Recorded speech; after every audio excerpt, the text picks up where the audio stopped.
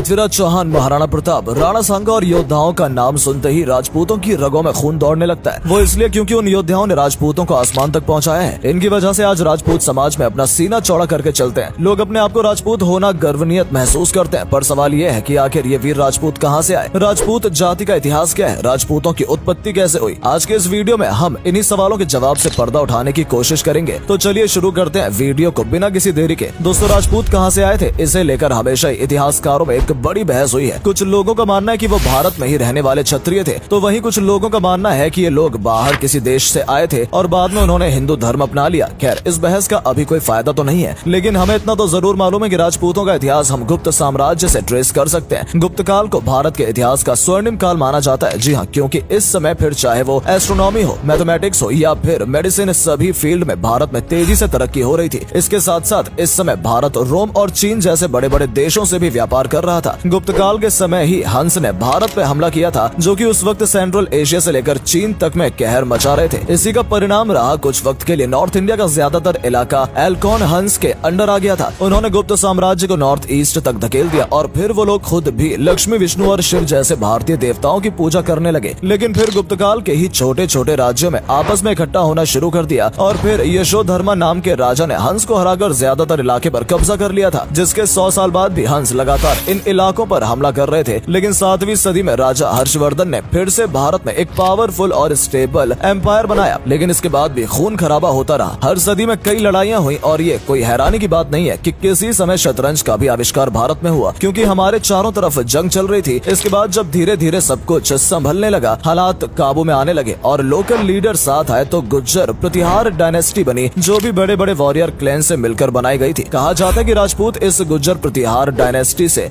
Directly directly related थे और इस डायनेस्टी ने भारत के पूरे नॉर्दर्न और सेंट्रल पार्ट पर उस वक्त अपना कब्जा जमाया हुआ था। गुज्जर प्रतिहार साम्राज्य के समय उनके कई बड़े राइवल्स थे, जहाँ साउथ की तरफ़ से राष्ट्रकूट ईस्ट के आठ तरफ़ से पाल और वेस्ट की तरफ़ से कई सारे टर्की लीडर्स भी इन पर नज़रें बनाए हुए थे। दसवीं शताब्दी की शुरुआत में ही राष्ट्रकूट और प्रतिहार साम्राज्य के बीच एक भीषण युद्ध भी हुआ था, जिसमें प्रतिहारों की राजधानी पर कब्जा कर लिया गया था। उन्होंने अपनी राजधानी तो बचा ली थी, लेकिन इसके बाद धीरे धीरे आने वाले सालों में गुज्जर प्रतिहार डायनेस्टी की एकता खत्म होने लगी और सभी लोकल राजाओं ने धीरे धीरे खुद के राज्य को इंडिपेंडेंटली चलाना शुरू कर दिया। दसवीं शताब्दी के आखिर तक अलग अलग राजपूत क्लैंस के हाथ में भारत के अलग अलग हिस्से थे, लेकिन राजदूतों का गढ़ राजपूताना को ही माना गया, जो की आज राजस्थान का इलाका है, और यही से फिर उन्होंने गुजरात और बाद में इंडो गैंगेटिक प्लेन्स के नाम से जाना जाने वाला पूरा इलाके को कंट्रोल में लेना शुरू कर दिया। राजपूत एडमिनिस्ट्रेशन का एक बहुत बड़ा फ़ायदा ये था कि वो अपनी पब्लिक को काफ़ी इंडिपेंडेंस देते थे, जैसे कि वो बिल्कुल भी इकोनॉमिक मामलों में इंटरफेयर नहीं करते थे। उन्होंने जागीरदारी सिस्टम को फॉलो किया था, जिसमें एक जागीरदार को काफ़ी सारी ज़मीन दी जाती है। फिर उसी ज़मीन को वो जागीरदार बाकी किसानों को देता है और फिर उससे जो पूरा टैक्स जाता है, उसका एक पोर्शन राजा के पास जाया करता था, जिससे कि मिलिट्री और डिफेंस के लिए फंड का इंतज़ाम होता था। इसके साथ साथ इस समय कोई सेंट्रल कोर्ट भी नहीं थे, बल्कि लगभग सभी कानून मामलों में फैसले लोकल लीडर्स लिया करते थे, जिसके कारण उसे इलाके की मान्यताओं का भी ख्याल रखा जाता था। और राजपूत राजाओं को जनता की तरफ़ से कोई विरोध नहीं झेलना पड़ता था। राजपूत औरतों को भी उनके सोसाइटी में उनका काफ़ी सम्मान था। न सिर्फ़ उन्हें पढ़ाया लिखाया जाता था, बल्कि साथ ही उन्हें शस्त्र चलाने की ट्रेनिंग भी दी जाती थी। ताकि अगर युद्ध की स्थिति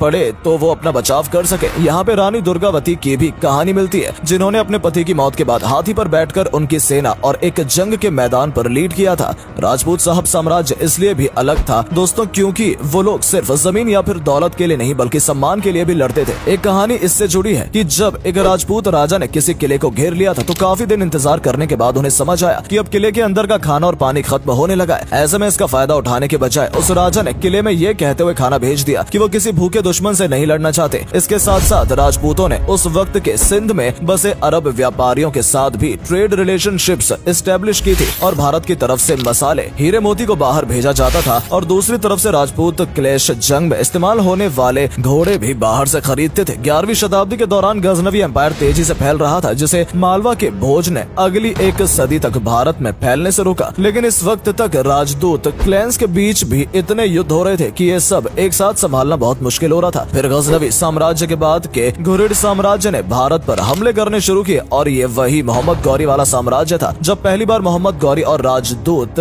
क्लैंस का सामना हुआ तो वही उसके खिलाफ एक होकर लड़े थे, जिस वजह से ग्यारह में उसे वहाँ से घायल होकर भागना पड़ा था। लेकिन अगले ही साल जब जब वो एक दिसंबर को दो लाख की फौज, जिसमें एक बड़ी कैलरी यूनिट भी थी, उसकी वजह से वो अगली लड़ाई जीत गए, लेकिन फिर मोहम्मद गौरी को मार दिया गया और यह एम्पायर भी टूटकर दिल्ली सल्तनत में बदल गया, जिसमें तुगलक से लेकर खिलजी तक कई राजा हुए। दिल्ली सल्तनत के ज़्यादातर राजा 200 मंगोल साम्राज्य के साथ लड़ने नहीं दिया, लेकिन जब खिलजी ने फाइनली मंगोलों की समस्या को निपटा दिया, तब वो राजपूत क्लैंस पर भी हमला करने लगा और उसने अपने साम्राज्य का विस्तार किया। इसके बाद बाबर ने आकर दिल्ली सल्तनत को खत्म किया और भारत में नए मुगल साम्राज्य की शुरुआत की। मुगल साम्राज्य और राजपूतों में लंबे समय तक संघर्ष चलता रहा, लेकिन अकबर के समय में राजपूतों और मुगलों के रिश्तों में बहुत सुधार देखा गया था। न सिर्फ़ अकबर को सभी ने अपना राजा मान लिया था, बल्कि मुगलों के कोर्ट्स में हायर पोजीशन एक्वायर करने लग गए और फिर औरंगज़ेब के वक्त तक कई राजपूत लोग मुगलों की सेनाओं के सेनापति भी रहे। लेकिन औरंगज़ेब की क्रूरता और महाराष्ट्र से उठते मराठा साम्राज्य के उदय को देखते हुए धीरे धीरे राजपूत उनके साथ हो गए। औरंगज़ेब की मौत के बाद मुगल साम्राज्य पूरी तरह बिखर गया। हैदराबाद, बंगाल सभी ने खुद को आज़ाद घोषित कर दिया और वहीं दूसरी तरफ़ मराठों ने तेज़ी से भारत में अपना शासन जमा लिया। भारत में मराठा शासन बढ़ने के साथ साथ डिसेंट्रलाइज भी होने लगी थी। यानी कोई एक राजा नहीं रहा और बहुत सारे अलग अलग चीज़, चाहे फिर वो होलकर हो या फिर सिंधिया, सभी ने अपने राज्य बना लिए। इसी का फ़ायदा अंग्रेज़ों ने उठाया जो उस समय के एक डोमिनेट पावर बना रहे थे। उन्होंने इस वक्त राजपूतों को भी कन्विंस कर लिया कि वो मराठों का साथ न दे। फिर इसी बीच तीन एंग्लो मराठा वार्स हुई, जिससे ब्रिटिशर्स और भी ज़्यादा मज़बूत हो गए। ब्रिटिश इंडिया के अंदर राजपूत राजाओं ने क्वीन को सॉवरेन मान लिया था, लेकिन अपने इलाकों को वो भी अभी भी इंडिपेंडेंटली कंट्रोल करते थे, जिसमें कई राजा ऐसे भी थे जिन्होंने फ्रीडम मूवमेंट में अपनी सीक्रेट डोनेशन ऐसी बहुत बड़ा योगदान दिया। भारत जब आज़ाद हो गया था और अब उसे एक करने का सवाल था, और तब 22 अलग अलग राजपूत क्लैंस ने अपने राज्यों को आपस में मिलाया और मॉडर्न राजस्थान का जन्म हुआ, और आज भी राजपूत लोग इस देश में अपना योगदान दे रहे हैं। फिर चाहे वो सेना में सर्वोच्च बलिदान देने की मांग हो, या फिर भारत की कल्चर को आगे